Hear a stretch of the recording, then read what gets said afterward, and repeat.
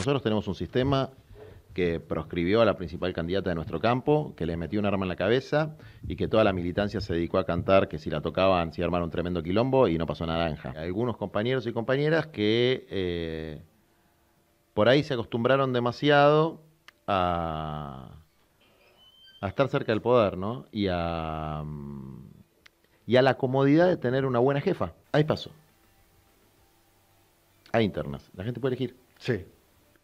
Si la militancia elige a Massa, no es, ya no le puedes echar más la culpa a, eh, a, a la dirigencia. Es un problema de la militancia.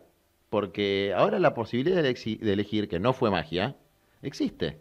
Hay paso. Bien. Entonces, bueno, ahora es hora de mostrar si la militancia quiere un militante como candidato a presidente o si quiere un profesional de la política. Y eso es lo que hoy tenemos que discutir. Hay tipos que se ponen un saco, una corbata, ponen cara de serios. Y no son. Parece que saben negociar. Mienten. ¿Irías vos a negociar Pero, con el a ver, yo negocio mucho mejor que Massa. Pero yo negocié en mi vida un millón de veces con gente muy, muy jodida. Vos llevas a cualquier sindicalista más o menos, más o menos inteligente a negociar y te juro que negocia mejor que estos que se, creen- se creen genios. ¿Y por qué no lo hicieron entonces? Porque son imbéciles. Nah, Vos no te- son boludos. son, boludos. No, son no boludos. son boludos. Son boludos. ¿Va a haber un debate entre vos y Massa?